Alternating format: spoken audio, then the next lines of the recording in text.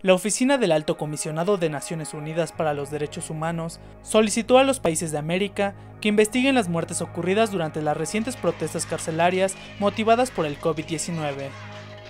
La oficina reconoce que las condiciones en muchas cárceles de la región son profundamente preocupantes y que miles de reclusos y funcionarios de prisiones ya han sido infectados en América del Norte y del Sur, en donde el creciente temor al contagio y la falta de servicios básicos como el suministro regular de alimentos debido a la prohibición de las visitas familiares han desencadenado protestas y violentos disturbios, Venezuela, Perú, Colombia, Argentina, Brasil, El Salvador, México y Estados Unidos se han sumado a la escala y gravedad de los incidentes mencionados y en algunos casos todo parece indicar que no se han tomado las medidas apropiadas para prevenir la violencia en los centros de detención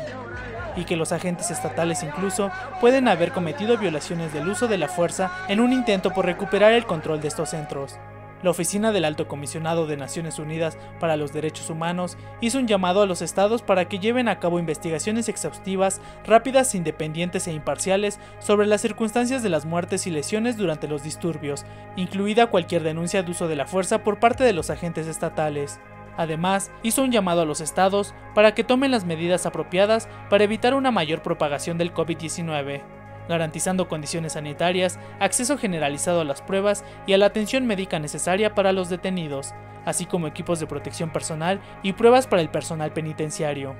Recordó que las autoridades deben garantizar un nivel mínimo de contactos personales con los miembros de la familia y el acceso adecuado a los alimentos y agua potable, así como proporcionar información periódica y transparente sobre el impacto de la enfermedad en los presos y el personal.